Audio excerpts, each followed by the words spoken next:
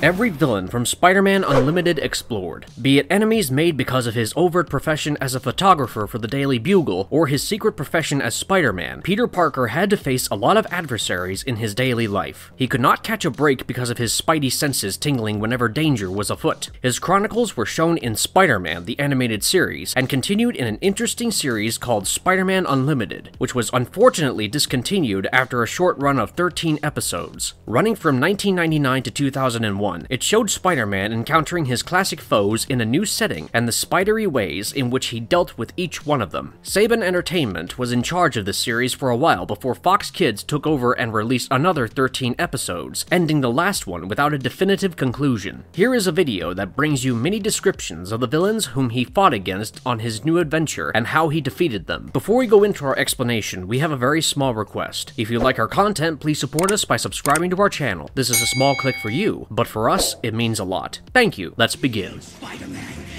to the Synoptic.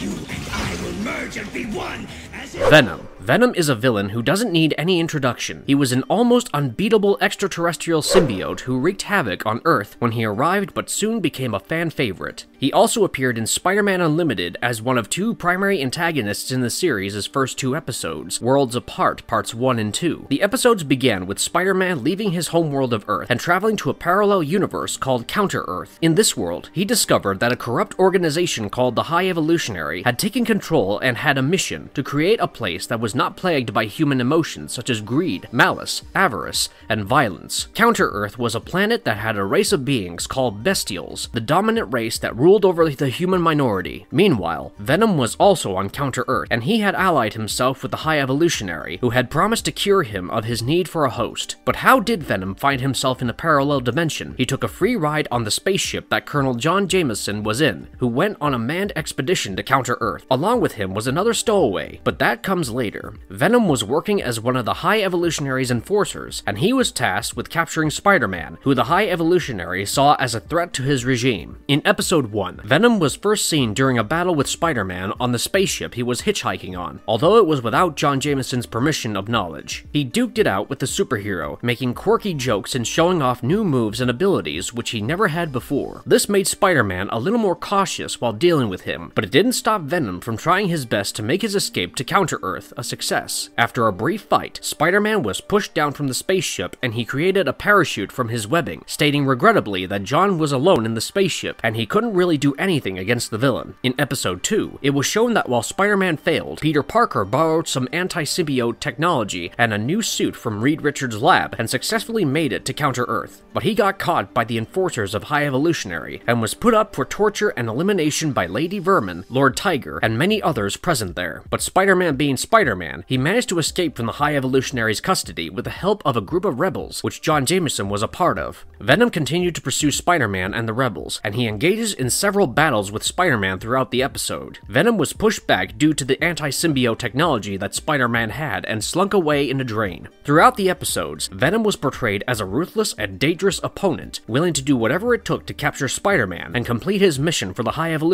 although it was definitely for his own purpose, to let Synoptic consume Counter-Earth and rule it. will take great pleasure in digging for the truth. Carnage. Remember when we mentioned another stowaway on Colonel John Jameson's spaceship? Yes, that was Carnage, jokingly called as the Blob Brothers by Spider-Man when he saw the both of them sneaking into the spaceship. He was easily recognized due to the red blob he transformed into. Carnage had the same goal as Venom, who wanted to eliminate their only threat, Spider-Man. And of course, their main goal was deceiving High Evolutionary and letting Counter-Earth be taken over by Synoptic. Synoptic was basically a group of symbiotes who were millions of years old, sealed beneath the surface of Counter-Earth. They were first there before everyone else on Counter-Earth, with dinosaurs as their hosts, but a meteorite crashed on the planet, and they were reduced to the slithery blobs that Venom and Carnage were. After landing on the planet, they were captured by the High Evolutionary, but they negotiated with him and received permission to roam on the planet, protecting his empire. Thus, while acting as High Evolutionary's enforcers, they also looked out for potential hosts for the symbiotes buried under the surface, and wanted to revive the whole planet as symbiote heaven. Carnage played a significant role as one of the main villains, and he was depicted as an even more dangerous opponent than Venom. He possessed similar powers to Venom, but his symbiote was even more unstable and granted him almost unlimited power and a complete lack of empathy or morality. Carnage's role in the series was primarily to serve as a physical and psychological threat to Spider-Man, and to create a sense of danger and urgency in the story. He was often portrayed as a sadistic and unpredictable villain, capable of committing horrific acts of violence without remorse. Eventually, their plans were thwarted repeatedly by the superhero, and they were permanently stopped by him. Carnage was definitely someone to be afraid of because of his complete lack of morality and the extreme means he was willing to go to so as to achieve his goals. Mason, don't be ridiculous. You led me here. That matters a whole lot now.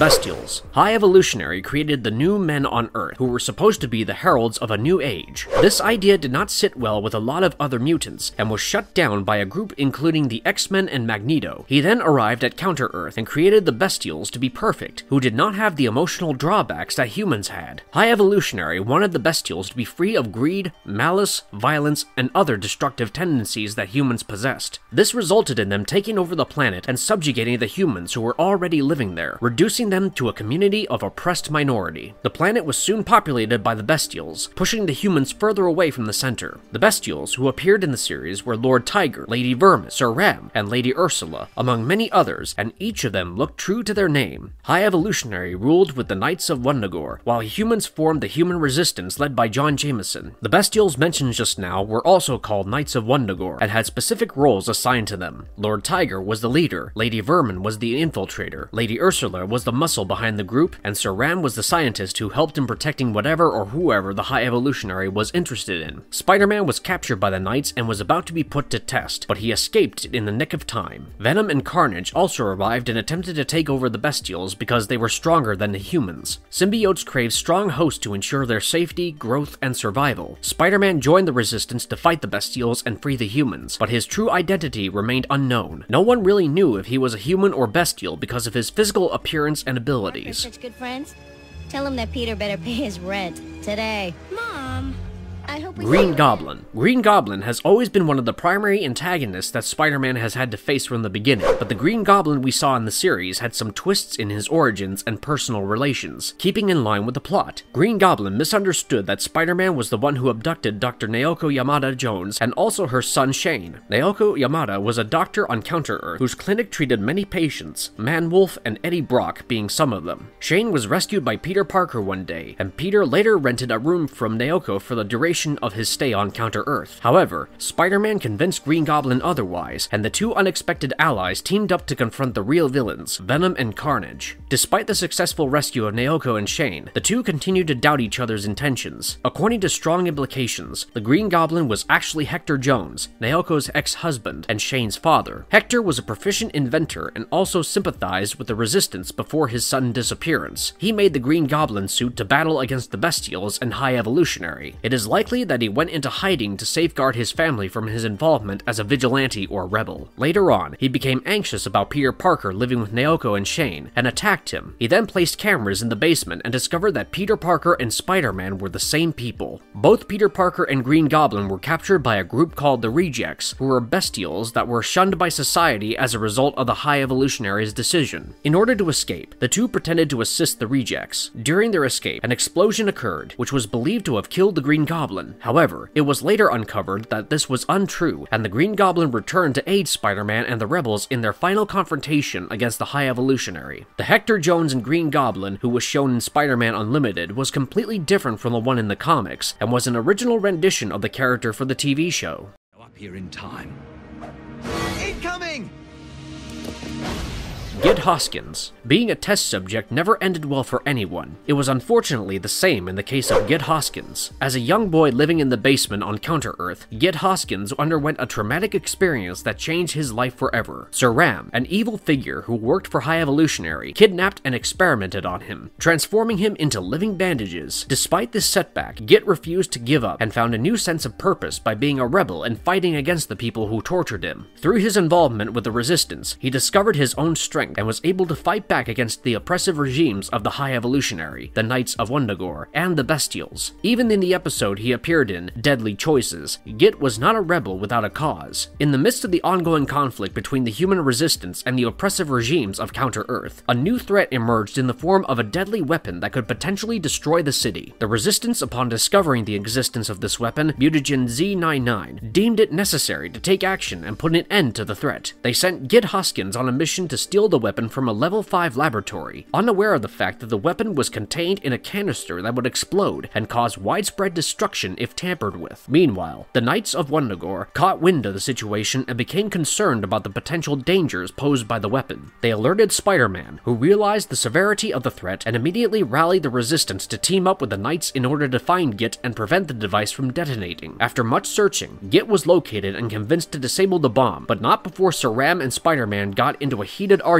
over who would take possession of the weapon. In the end, Git decided to give the weapon to Sir Ram, believing that he would know how to safely dispose of it. Unfortunately, their plan was thwarted when Venom and Carnage infiltrated Sir Ram's lab and stole the canister, leading to a whole new set of challenges for the heroes to face. Despite the setback, however, the joint efforts of the Resistance and the Knights of Wundagore demonstrated the power of unity and collaboration in the face of seemingly insurmountable odds. Git's bravery and determination in the face of adversity proved invaluable to the human cause, as he risked his life to ensure a brighter future for those living on Counter Earth. Despite the horrors he experienced, Git refused to let his circumstances define him. Instead, he chose to stand up for what was right and fight against oppression. His story is a powerful reminder of the importance of resilience and perseverance in the face of adversity. Kill for. Suck an egg, butt brain.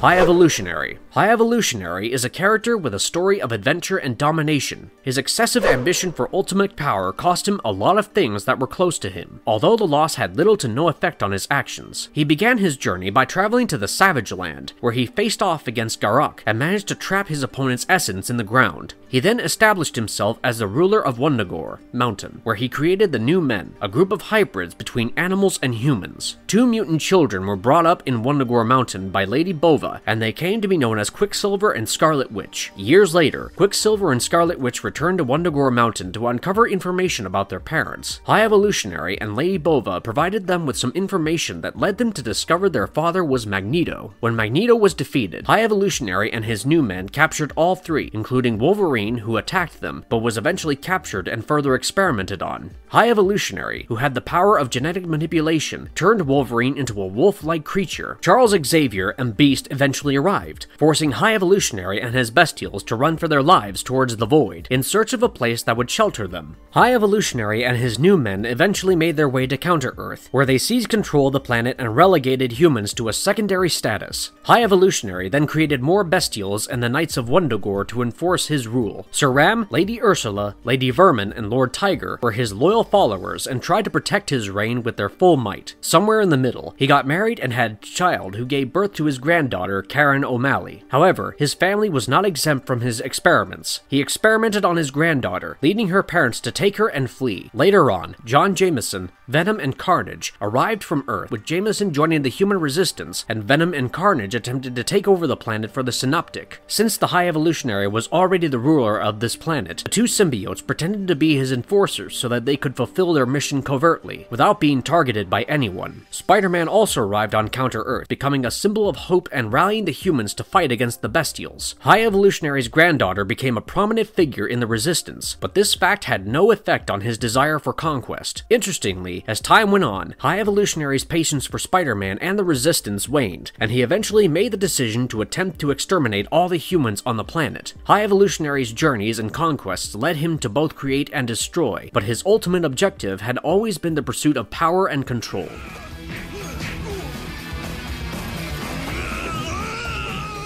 Hunter. In the Counter Earth version of Spider Man Unlimited, Kraven the Hunter was a bald man with a distinctive ponytail who was always barefoot. He was part of a small group of humans who were permitted to live in the upper areas of the city, and he worked as a mercenary for both the rebels and the High Evolutionary. The one who paid him the most became his employer, and in this case, Kraven was tasked by the High Evolutionary to capture or kill Spider Man. When Spider Man broke into Kraven's hideout, he discovered that the Hunter was using a toxic formula that, when combined with particular animal pheromones, granted the drinker animal traits, altering his steroidal and hormonal responses to a situation, but at the cost of poisoning the bone marrow, damaging the liver, and reducing one's lifespan by half, Spider-Man seemed concerned about the methods Kraven was using to achieve his means. Kraven justified the risks of his toxic formula, believing that the power it provided was worth the sacrifice. He jokingly said that instead of living like a slow burn candle, he'd rather live fast and die young like a rocket, shining blindingly bright. Despite Kraven's unique approach to fighting Spider-Man and his dangerous methods, Spider-Man triumphed over him by outsmarting him and turning his own security system against him. Spider-Man warned Kraven that he now knew his secret, and that he would beat him into the ground if he tried to harm him or the rebels again. The episode ended with him walking away, stating that he broke his hand while trying to threaten Kraven. The encounter highlighted Hunter's dangerous nature and Spider-Man's resourcefulness and tenacity in overcoming challenging opponents. Dr. Spider-Man's prescription for chronic flaming halitosis.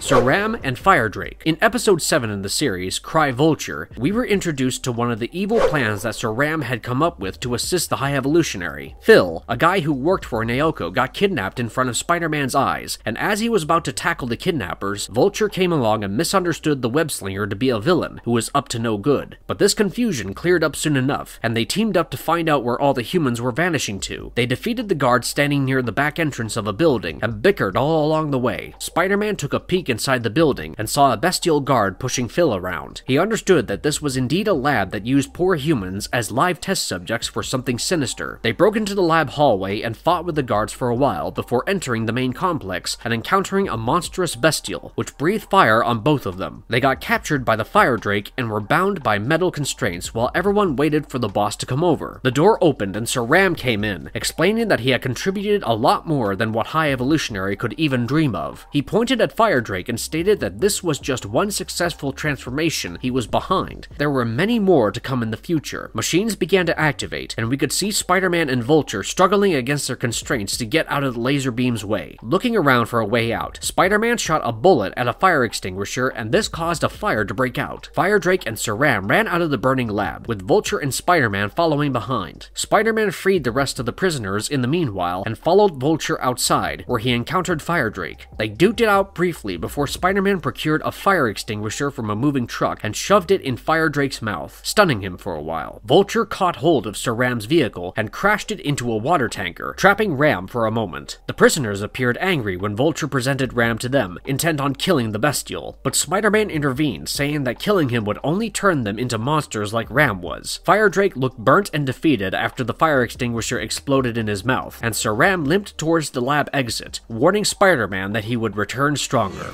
Oh, no, you don't, buddy boy. Nothing's getting in my way. Not this time. The Vulture. In the world of Spider-Man Unlimited, the Vulture took on a different role as a hero, a significant departure from his villainous portrayal in the mainstream universe. Similar to the Counter-Earth Green Goblin, the Vulture initially mistook Spider-Man for a villain. However, this backstory revealed a deeper understanding of his character. The Vulture was once a human who had a lot of privilege and behaved like a spoiled brat. He made friends with bestials and began to associate with them, participating in activities that were cruel and shameful like harassing other underprivileged humans. Along the way, he mistreated countless human beings. Nonetheless, he played with the son of his servant since they were kids and treated him as a good friend too. But one night, his bestial friends wanted to have some twisted fun with humans, and Vulture tagged along with them. They lit up in an old rundown house on fire, not knowing who the residents were. Out came running all humans, along with his childhood friend, who looked at him with tears in his eyes. This changed his social views on his origins, and he swore to protect humans at all costs. The Vulture, despite his past mistakes, decided to rebel against the High Evolutionary, who he believed was responsible for his transformation and subsequent exclusion from human society. This rebellion proved the Vulture's value as a hero and demonstrated his potential for redemption and desire to atone for his past actions. By fighting for the greater good, the Vulture showed himself to be a valuable ally in the fight against oppression and tyranny. He was determined to prove his worth and demonstrate that he could make a positive difference in the world. The Vulture's willingness to challenge the status quo and stand up for what was right made him an inspiration to others and showed that anyone could change and make a positive impact, no matter their past. Overall, the Vulture's rebellion highlighted the importance of taking a stand and fighting for justice, even in the face of adversity. Your friend looks hungry. Think he'd like a barbecued snack? Counter Earth's version of Electro, an electric eel. In the episode Met by Moonlight, John Jameson was missing and Spider Man was on the lookout, but the rebels refused to provide any information on his whereabouts. Meanwhile, a werewolf was wreaking havoc at Naoko's medical center, where she struggled to protect herself and her son, Shane. Spider Man sensed something was amiss and rushed to the scene, only to find Naoko fighting the werewolf. Spider Man tried to intervene, but Naoko begged him not to hurt the creature. To his surprise, the werewolf reverted to human form when sunlight touched him, revealing him to be Jameson. After undergoing experimental procedures by the High Evolutionary, Jameson was rescued before the transformation could be completed, but part of him remained a mindless animal. Naoko sent tissue samples to a biochemist colleague who helped her create a bioelectrical implant to prevent transformation. However, something went wrong with the implant, leading to Jameson's transformation. Spider-Man teamed up with Jameson to fight off the Machine Men, who demanded that he surrendered for his crimes against the state. Jameson and Spider-Man eventually joined forces with the rebels to shut down a power plant that tapped into a natural fusion core, which could potentially destroy half the city's population. Initially hesitant to work with the team, Spider-Man eventually agreed to help after Karen O'Malley accused him of ignoring the millions of lives at stake. When they breached the power plant, they were met by none other than Electro, who was also a monstrous creature now, who had the ability to control electricity. When Spider-Man crossed paths with Electro, the hero was momentarily confused, mistaking him for the Electro he knew from Earth. As the battle ensued, Electro found an unlikely ally with John Jameson, who had once again transformed into the monstrous Man-Wolf and was seeking to take down Spider-Man. Despite their combined efforts, Spider-Man proved to be too powerful, and he ultimately defeated Electro by sending him hurtling into the main power core. Overloaded and defeated, Electro vanished without a trace.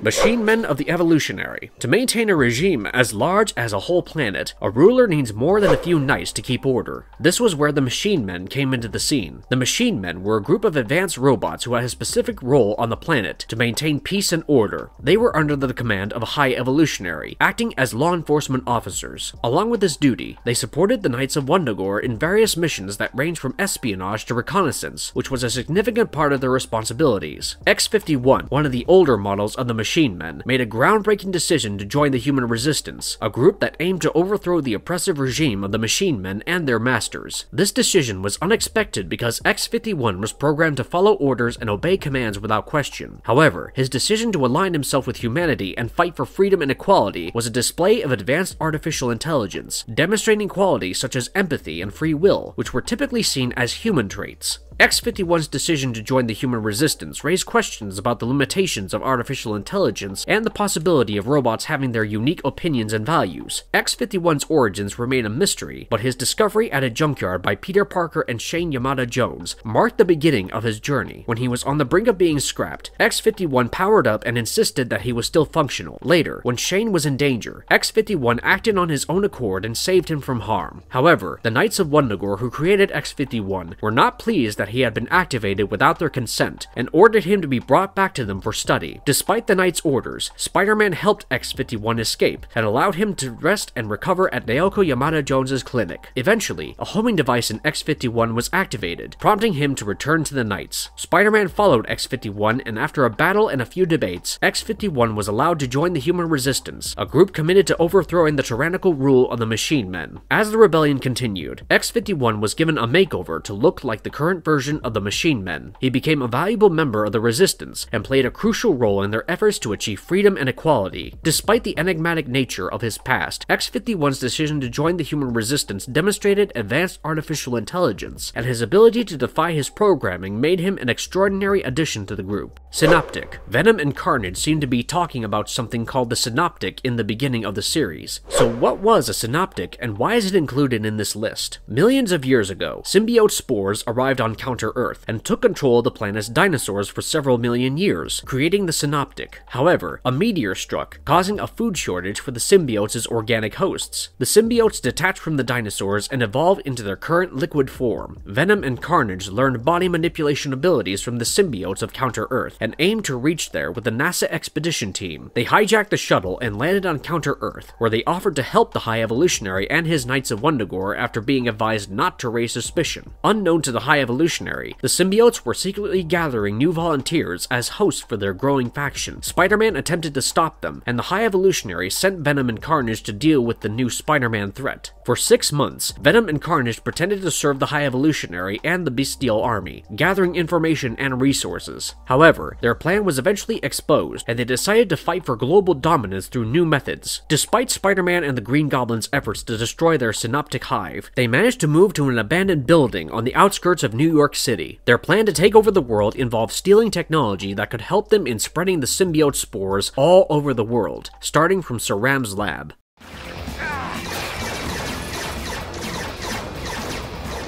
Conclusion This was a list of every villain in Spider Man Unlimited who ever appeared on the show. While most of them were villains we have seen Spider Man encounter on Earth, their origin stories and different motivations for their actions on Counter Earth made all the difference. Spider Man Unlimited had a lot of potential going forward, with Spidey's quirky nature and quips and the new anti symbiote suit, which was exciting in action, but poor sales could not let it move forward more than a few episodes. And if you liked our content, don't forget to leave a like and subscribe to us if you haven't already. Have a good one and be safe. Thanks, everyone.